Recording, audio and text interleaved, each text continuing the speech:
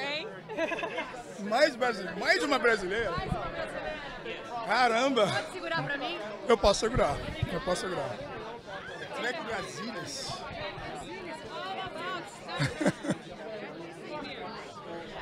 Eu tenho que mostrar, eu tenho que botar assim, né? Trek Brasílias. Na primeira temporada, a gente viu drama do seu personagem com a filha. E no fundo, só ele sa- sabe o que, que aconteceu, né? Como é que foi fazer isso? Foi incrível, foi incrível. Foi uma coisa. Quando eu, quando eu vi o script né, do Elysian Kingdom, me toquei muito. Desde o terceiro episódio, ah, tocou, me tocou tipo no, no fundo de mim mesmo. E foi incrível, foi incrível, tipo achar as emoções, achar, me bota nesse espaço de um, de um pai que, que tem uma filha passando por isso. É uma coisa que é, me tocou muito, me tocou muito e eu só tentei trazer isso para a tela. E o que, que a gente pode esperar agora nos próximos capítulos? Vai ter jiu-jitsu, parece, também? Ih, esse aí eu não sei não.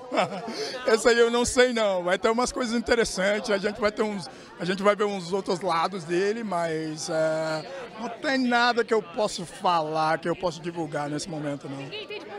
Pode falar. Não. Só bate na internet.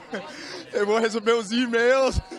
Aí não vai dar não. Qual que é a sua relação? Você lembra a primeira vez que você assistiu alguma coisa do Star Trek? Não, eu tipo comecei a assistir Star Trek quando, com, quando eu, eu era mais novo, né? Tipo, é, nos anos 80 eu acho que eu comecei a ver os episódios, eu adorava Spock, entendendo? Eu achei ele estranho, mas gostava muito dele, o Kirk.